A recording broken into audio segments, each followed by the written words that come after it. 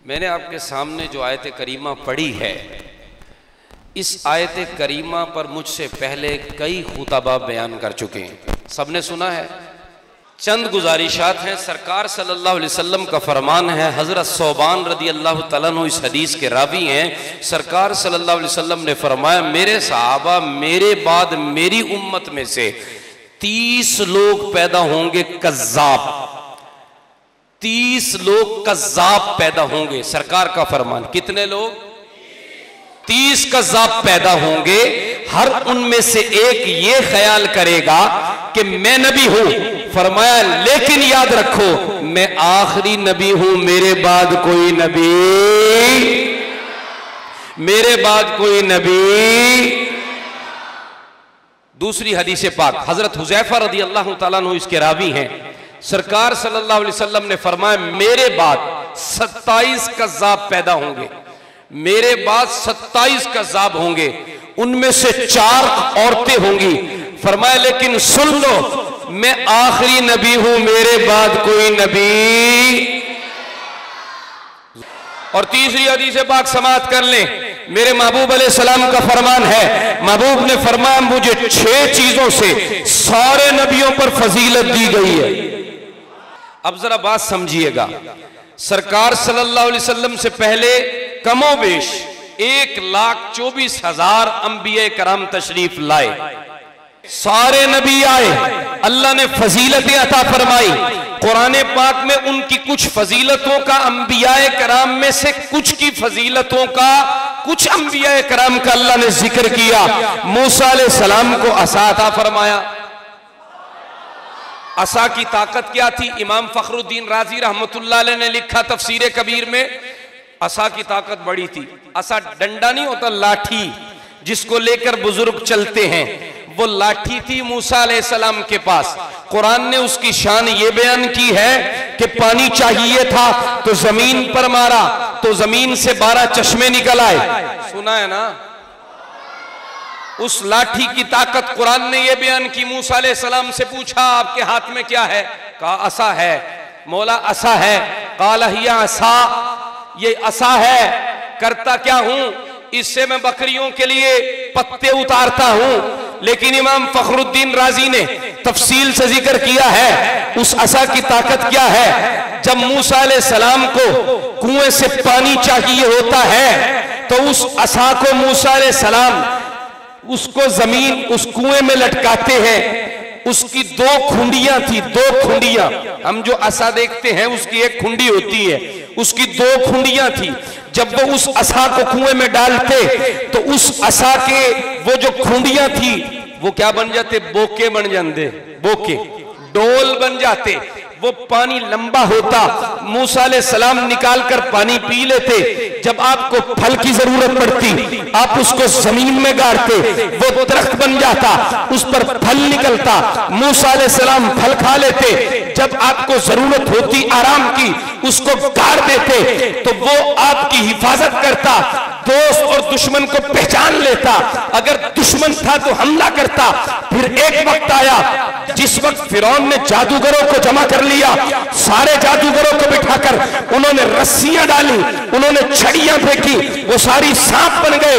रब की तरफ़ से हुक्म हुआ, मूसा सलाम ने वही असा डाला, वो अजदहा बन गया। उस अजदहा का मुँह इतना बड़ा था कि जिसने फिर के महल तक जब चपड़ा खोला एक उसका ज़मीन पर था और दूसरा जबड़ा।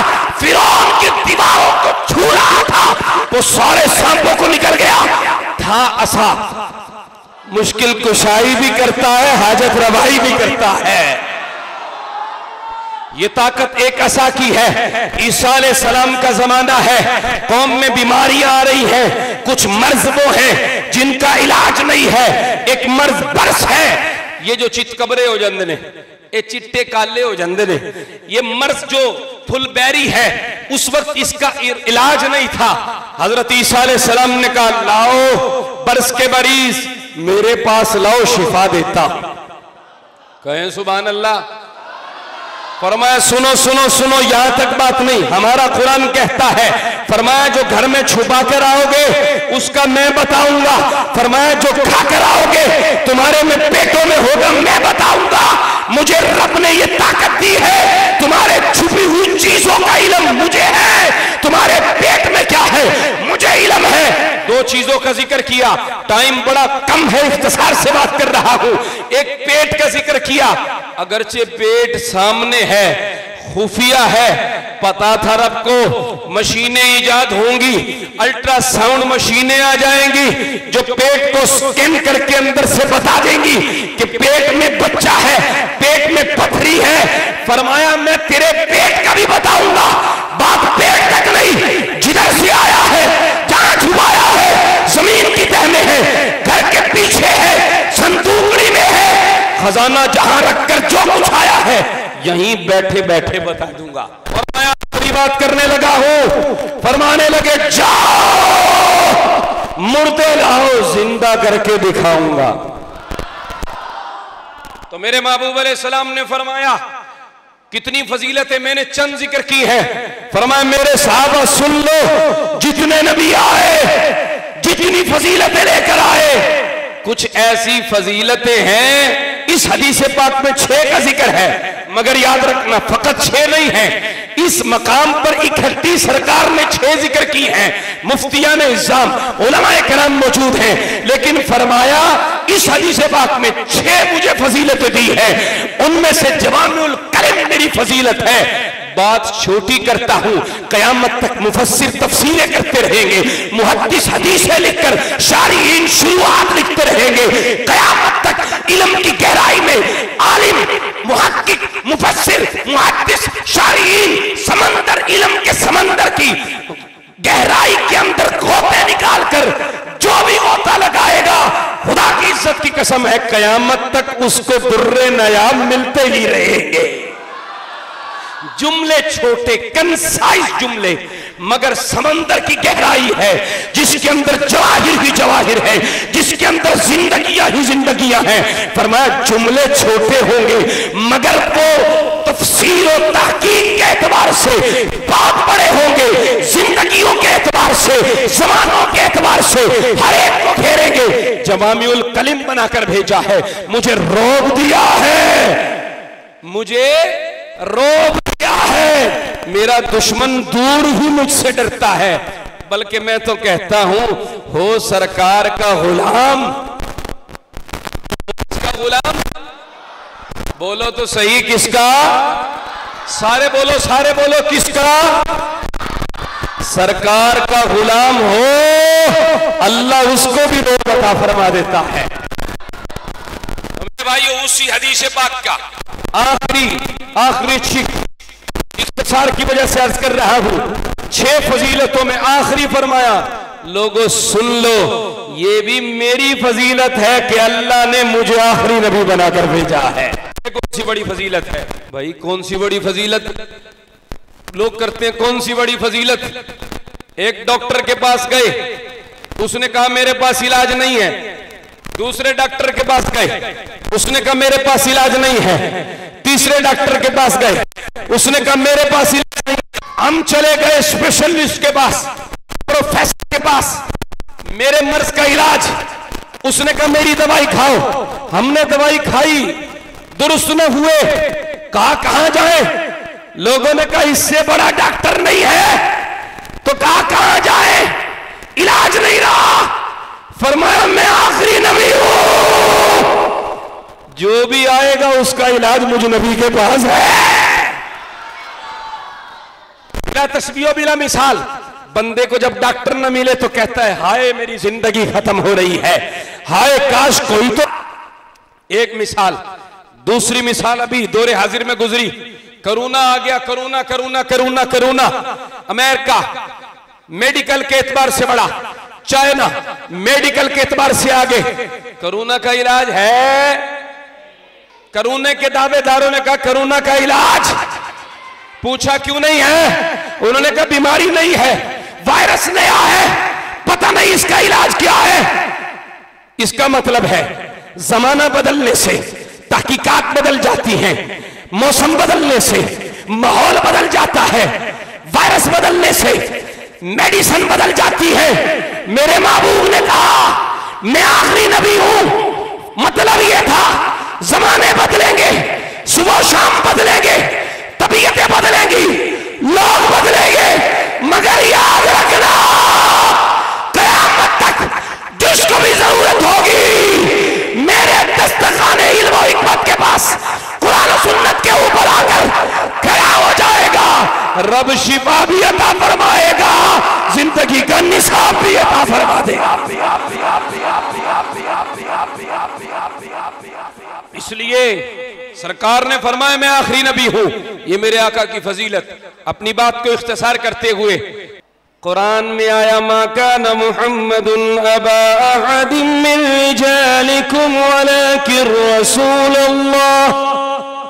वलकिन रसूल खातमन कुरान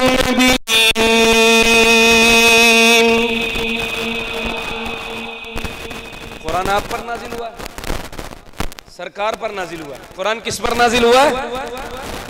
सरकार पर कुरान नाजिल हुआ है। तुमने कुरान कहाँ से सीखा? तुम्हें तो कुरान मुजल्लद मिला। कुरान कहाँ से आया? तवज्जो है। खुदा की इज़्ज़त की कसम है, मुस्तफ़ा ने साहबा को सुनाया, अबू बकर ने संभाल कर उम्मत तक पहुँचाया। जिन साहबा ने कुरान तुम तक पहुँचाया, मुस्तफ़ा से ताल्लुक बनाया, तुम्हें जीना और मरना बताया, उन साहबा की गुस्ताखी हो रही है। चुप बैठोगे? तवज्जो है? तो फिर बोल के दिखाओ, साहबा की गुलामी है? कुरान को मानते हो? कुरान निसाब हयात है? निज़ाम ज़िंदगी है? निज़ाम बंदगी है? तो फिर मान ले, तेरे सजदे का जौक कुरान से मिला है, तेरा सजदे का तरीका कुरान से मिला है, नमाज़ का सलीका कुरान से मिला है, नमाज़ का तरीका कुरान से मिला है, जीने का तरीका कुरान से मिला है, तेरे घर की ज़िंदगी कुरान से मिली है, तेरा जीना कुरान से, तेरा खाना कुरान से, तेरा बैठना कुरान से, तेरा सोना कुरान से, तेरा जागना कुरान से। रब की रजा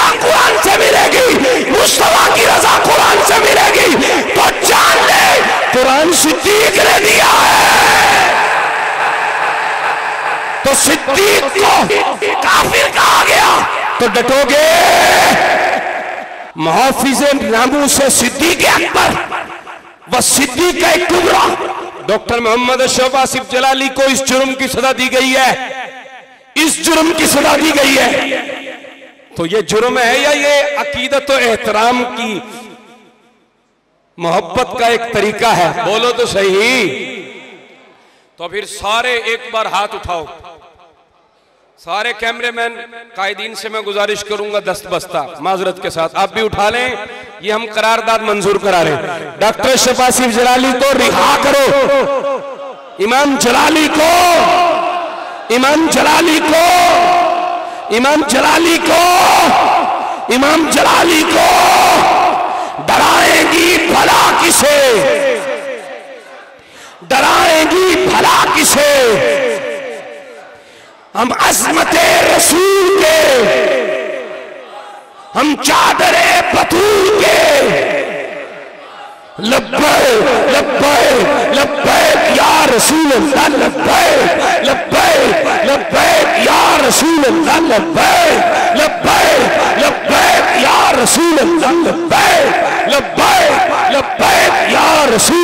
लब्बे लब्बे लब्बे या रसूल अल्लाह लब्बे लब्बे लब्बे या रसूल अल्लाह ताजदार खत्म नबूवत।